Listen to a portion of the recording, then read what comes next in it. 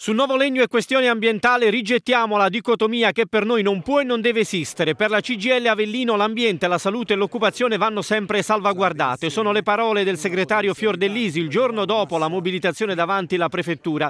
Gli operai, dopo l'annuncio della chiusura, attendono un segnale da Confindustria piuttosto che una convocazione al Mise per aprire ufficialmente l'avvertenza e darle respiro nazionale. Intanto hanno proclamato sciopero a oltranza per due ore a turno. Noi pensiamo che le battaglie su ambiente e lavoro siano collegate spiegate, prosegue Fiordellisi. In questi 40 anni il gruppo Fantoni ha preso finanziamenti ma non ha mai realmente investito in Irpinia.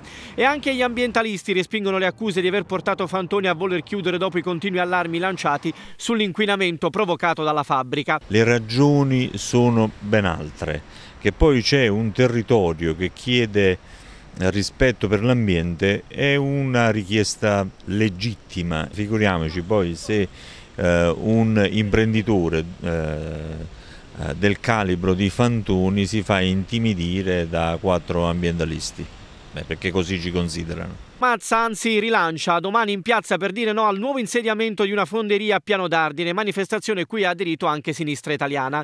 Anche la CISL chiede alla proprietà di rivedere la propria strategia aziendale e fa appello alla politica regionale e nazionale per farsi carico della vicenda. E sull'equazione inquinamento-chiusura il segretario Melchionna aggiunge non si può morire di lavoro ma non è neanche comprensibile che per tutelare l'ambiente si chiudano tutte le fabbriche, bisogna che si mettano in regola e si trovi il giusto mezzo.